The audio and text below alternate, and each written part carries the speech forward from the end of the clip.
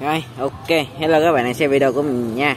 Thì theo như trên à, hình các bạn cũng đang thấy là à, hôm nay là mình sẽ nói sơ qua về việc mà dâm lá nhân giống những cây à, gọng vó nha mọi người.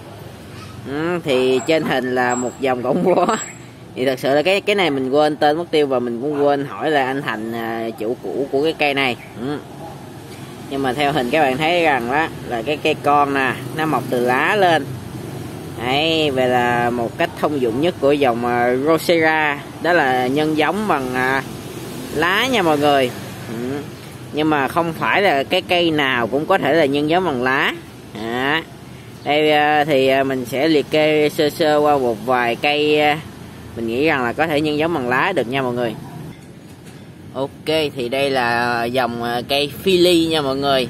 Ở Philly hay còn gọi là gọng vó bạch tuộc á.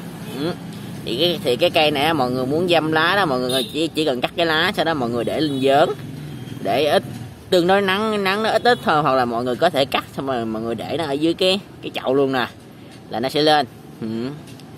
đây là một dòng gọng bó khác đó là anden lae nha mọi người cũng có thể là nhân giống bằng lá luôn. Ê, để mình nhớ coi còn cây nào nhân giống được bằng lá không ta? Binata. Binata cũng có thể là nhân giống được bằng lá nha. Cũng y chang như cái cách à, nãy mình nói. Đó là các bạn cắt, các bạn bỏ lên trên à, bề mặt à, dớn hoặc là bề mặt chậu là nó sẽ tự động nó lên. Đấy. Rồi, ok, thì cũng có rất ờ, cũng có khá là nhiều dòng có thể là nhân giống bằng lá.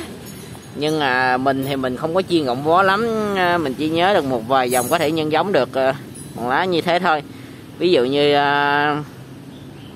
cái cây indica này nè mình nhớ không lầm là nó không nhân giống được bằng lá. Còn anh em nào dân nhân giống được thì à, có thể là show show cho mọi người xem. Đó. À, Bumani cũng không nhân giống được bằng lá nè. Đấy à, cái này là Inter Inter hình như là cũng nhân giống được á. Yeah. Nói chung là mọi người bạn nào mà muốn mà tìm hiểu xem xem là cái dòng gọng bó của các bạn có thể nhân giống được bằng lá cách dâm lá hay không thì mọi người có thể là tham khảo trên ờ, những anh em trên những ờ, hội nhóm nha. Ừ. rồi ok. Đó. À, thì mình chỉ thảo luận sơ sơ như thế thôi sẵn quay thành quả khoe với các bạn. Đấy. Rồi ok.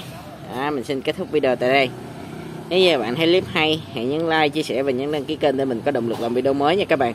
Và hẹn gặp lại các bạn ở video tiếp theo của mình. Bye bye.